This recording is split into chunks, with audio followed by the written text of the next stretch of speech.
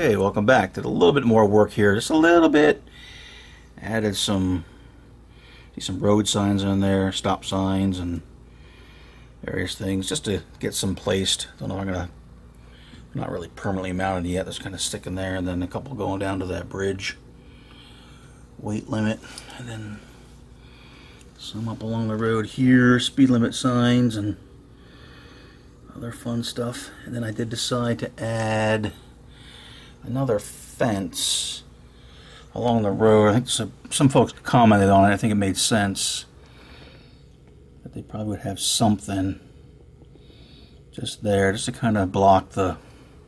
I don't know how much noise is going to block, but anyway, just put it there. Then I put some various shrubbery there and along the embankment.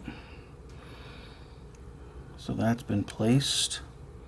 And then I did add a light We'll see from the other side. That's a light uh, by the garage there, an exterior light. So that's added in. So let's take a quick look from the other side.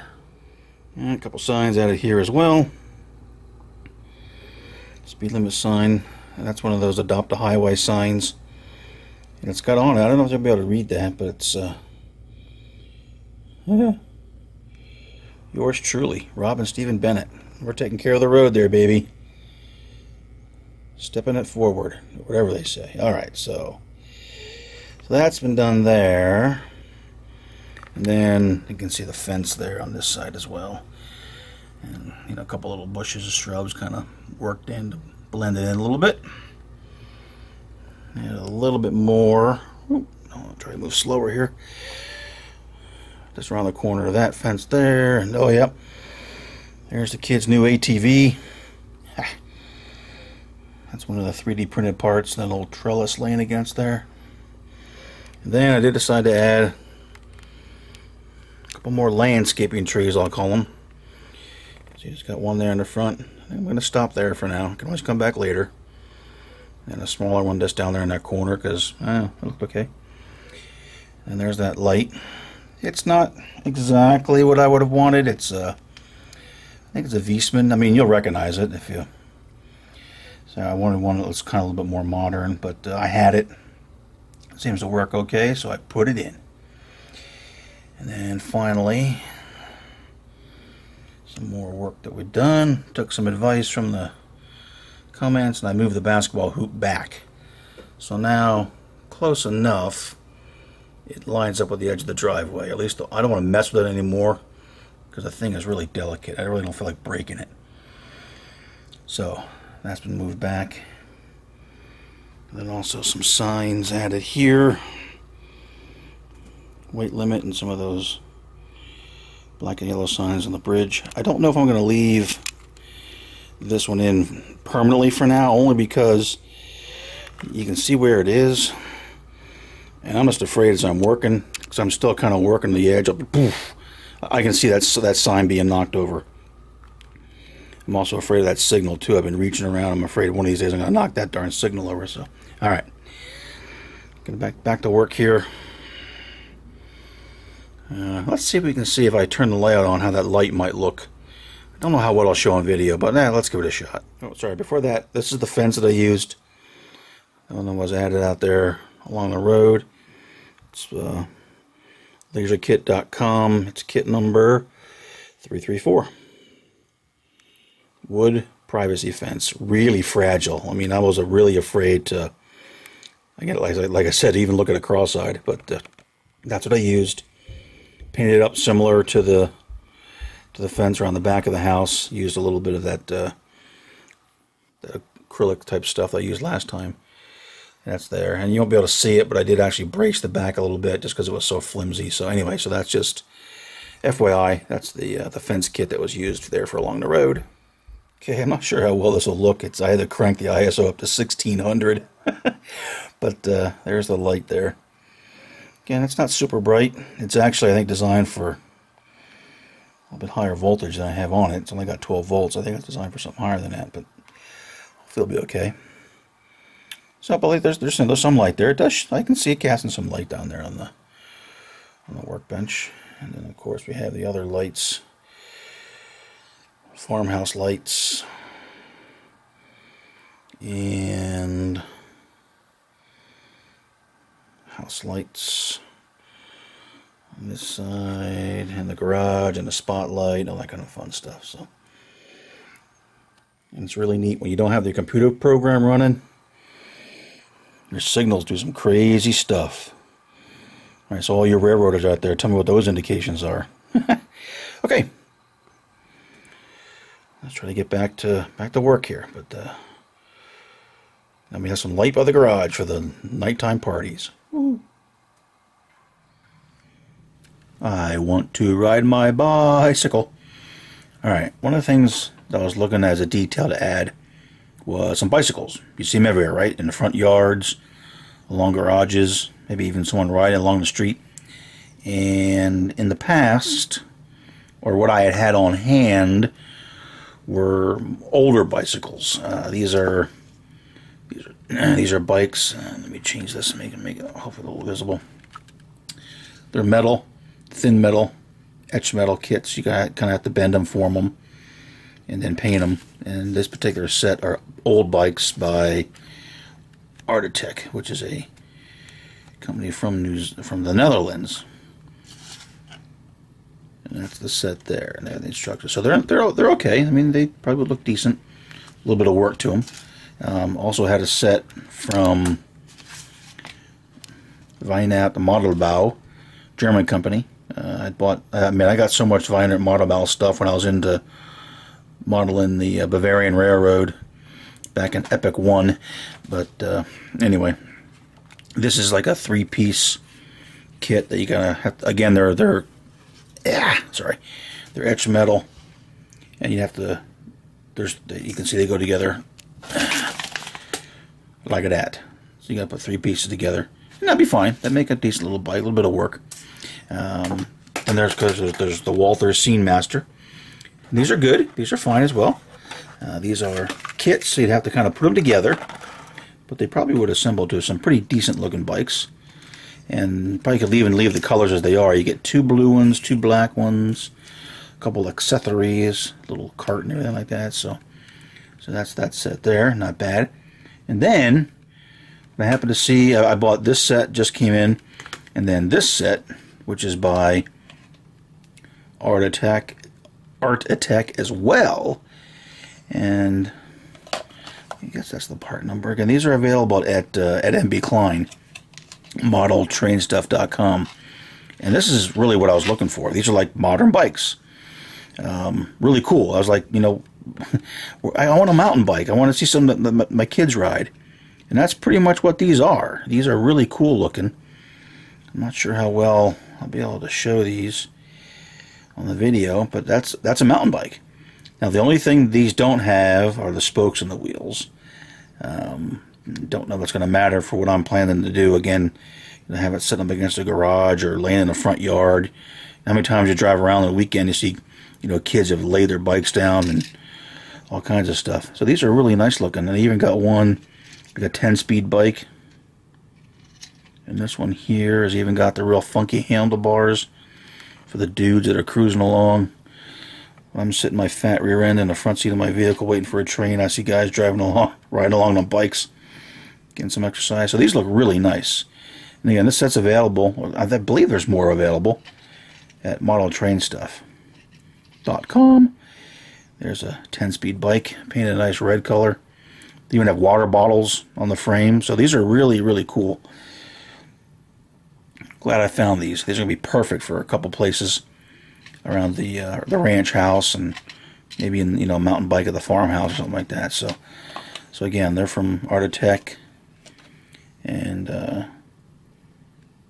these these guys are out of the Netherlands, but these two I just got them in from ModelTrainStuff.com. So if you're looking, go ahead and get them. And then these other ones, uh, they'll probably be harder to find. Again, I, I bought the Weinert, the Modellbau ones a long time ago, and these as well. I even forget where I bought them from. But really, these two sets will be good. Good detail, good modern detail. Even these look like decent bikes, you know, uh, relatively modern. Uh, but these are beautiful for, for modern bikes, bicycles. So really looking forward to getting some of those put out there for some details. So just wanted to show that. All right, got some details put on over here on the layout, some more details.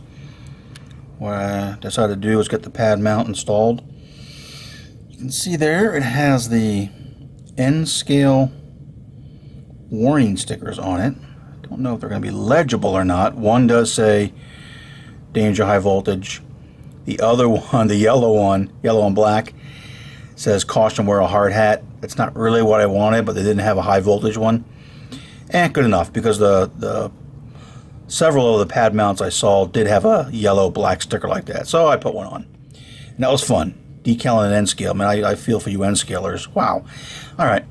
And then on the fire hydrant, I added a little orange staff to it that is uh, around our area because of the copious snowfall. The fire hydrants tend to have that on it just to, so the snowplow operators know where they are just in case we get that much snow, which luckily we haven't. But I went ahead and painted up a little thin styrene piece and painted it orange and there it is. And then did some other detail work, just a couple bushes and some of the some tufts from Silflor filigran bush uh, or filigree bushes put in. It's a nice scruffy one up there behind the the back of the shed. Did some more work. A couple pieces in there, kind of just kind of blend in the edge of the of the grassy area down to the road. There's just some tufts in there and whatnot. Nothing too serious. There's a couple things here and there. And then over here you can see the bicycles. There's one that the young lad came home, just dumped it in the yard and ran inside. And then Pops is over there by the by the garage. Her man, I love her man. She is always cutting the grass. Every time I come out here, she's mowing the lawn. I love it. And did a couple more little tufts there along the along the road. Eh, not too serious. All right, so now what I want to get to is this area here. Like I said, going up the peninsula. The upper area, I want that to be kind of a you know wooded area, dense trees. So going to do a lot of that. And then down here in this area, like to have it yeah, from about the signal bridge up.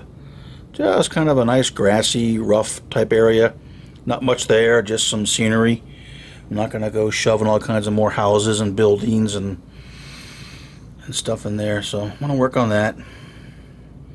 Thinking of adding down along the road here on the left hand side some high voltage power lines to come down, they come across and in that spot there have a nice small little substation you know maybe a 12 16 20 MVA transformer some breakers and some other associated stuff. Just something small.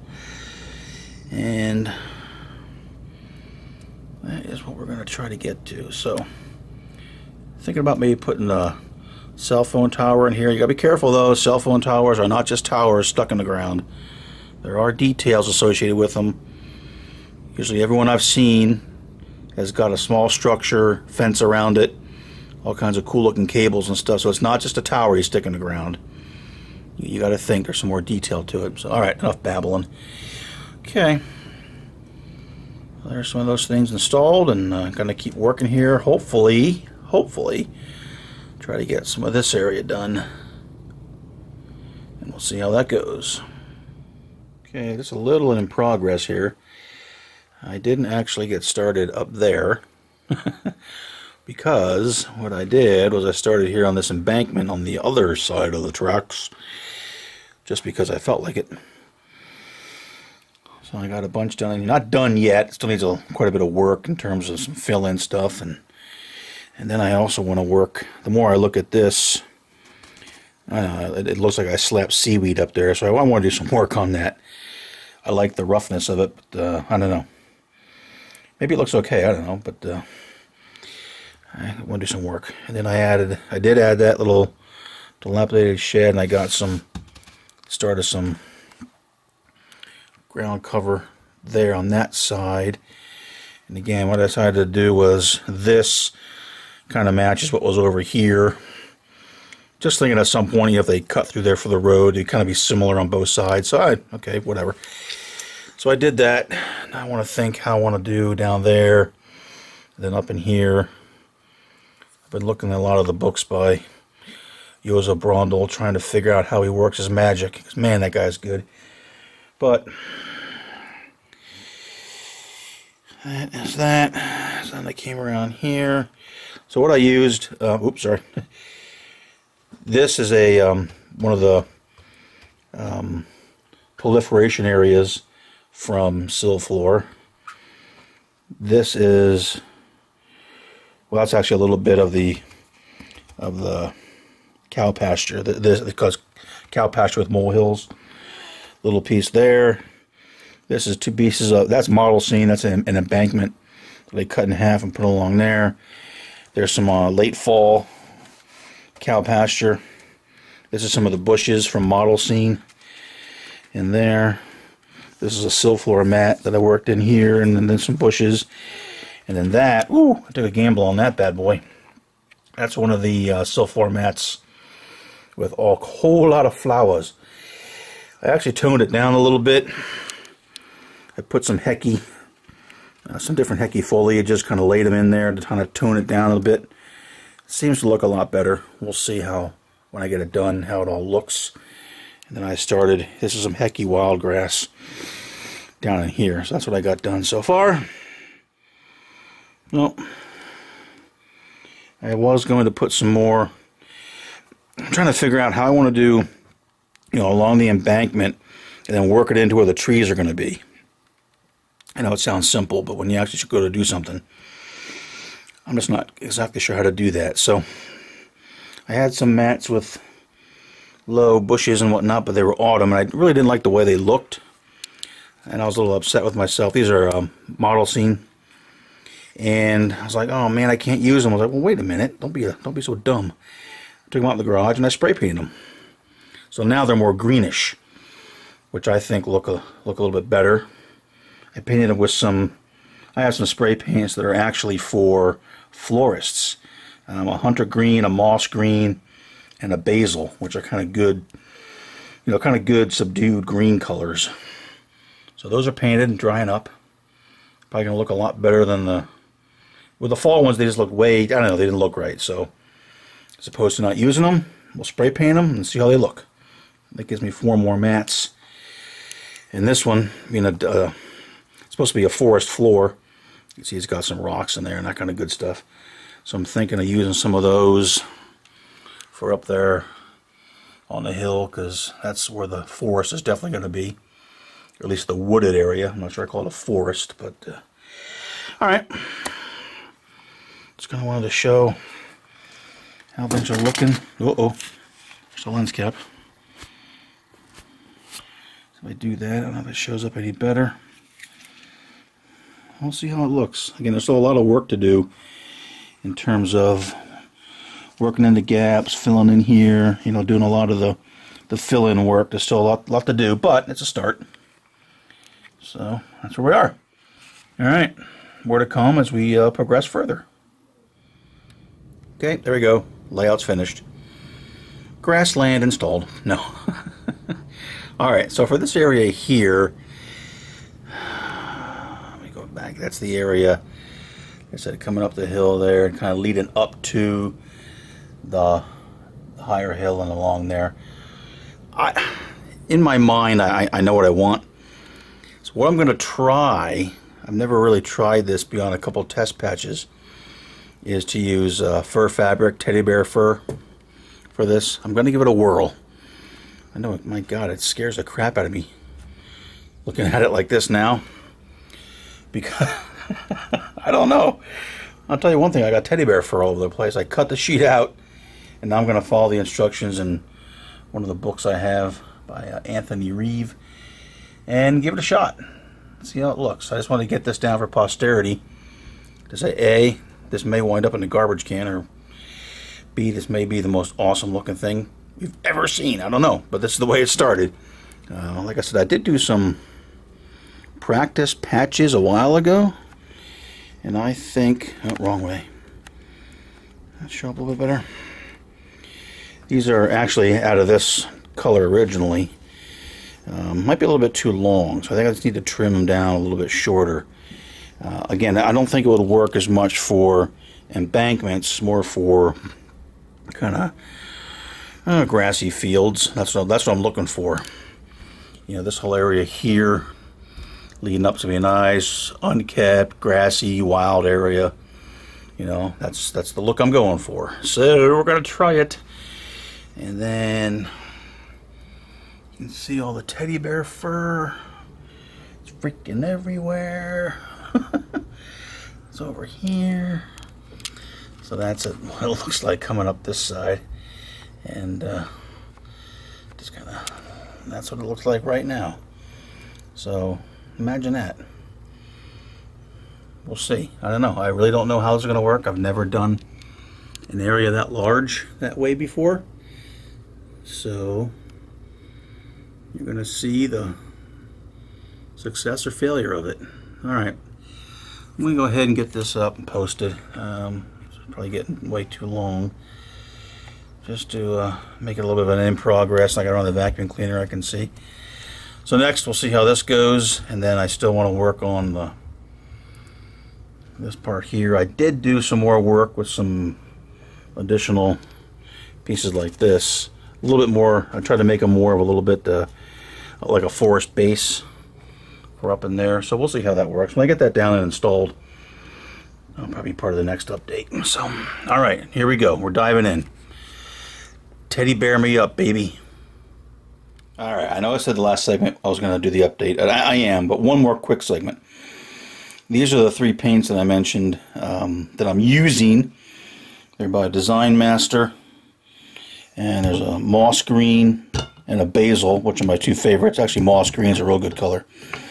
Uh, the hunter green, eh, it's okay, but it's actually a little bit too, what do I say, like a glossy green color. Um, I use it very, very sparingly. But these two are the bomb. I think I bought them at a Michael's or a AC Moore. I don't think it was Hobby Lobby. They weren't open yet. But uh, again, I think they're more for florists to use when they're doing flower colors, painting, whatever. I don't know. But they're really good for what I'm doing here. So, and I also did, I used some of those to kind of modify the colors of this model scene mat. Made it a little more greenish olive type color. I also did it to this one, which originally was blueberries, which really looked kind of silly. But now it might be a good again, part of the forest base. Uh, these are additional pieces I made for embankment and for the forest base. Most of these are the rubberized horsehair. Some are the, actually the cocoa liner, which I actually happen to, now that you mention that, Rob, um, this is the cocoa liner that I use. Let's see if that's legible. Hmm, yeah. Again, it's at, it's at Lowe's. Uh, it's in kind of with the hanging baskets, and that's what it is. Uh, it's not very expensive. And then I just take it and cut it and kind of rip it up and go to town. So, all right, let me uh, redo my f-stop so you can see what I'm talking about here. So I got a bunch of different ones going on here. These are going to be drying up and then going over on the layout. So set those there. And then some of these larger ones, this is the cocoa liner. Basically just pulled up a little bit. I think it might be a good forest base because it looks kind of the rough, brambly, you know, stuff you see at the in, in a forest or a wooded area, a serious wooded area where there aren't many people around. So that's uh, those are getting dried up, ready to go. I also went crazy and uh, Believe it or not, this here is one of the Silflor, I think it's Wildwuchsgebiet, they call it proliferation areas. It was a summer. It looked a little bit too bright for me to me. So I actually took that and painted it. I can't believe I did that to a floor mat, but just kind of tone it down a little bit. Um, it's hard to, but it's I use mostly the moss and a little highlight with some of the basil. And actually, I have an aspen yellow that I real briefly just kind of sprayed over the top to give it just a little bit of brightness with the yellow stuff. So, all right, so all this is going to dry up now.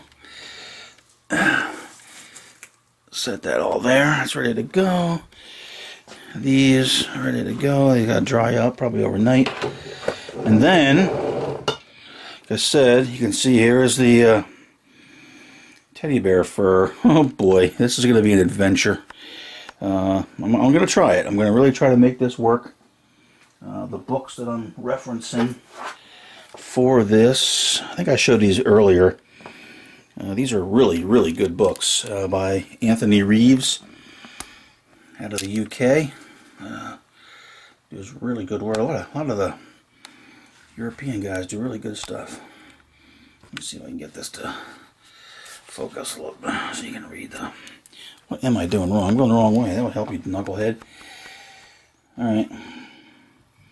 I'm almost sure I talked about these before, so I won't I won't belabor them. But they're good, really good books, and they have a quite a quite a good section on using the Teddy Bear. Uh, there we go. So, all right, now I'm going to stop and get this pasted, and then come back if this adventure actually works.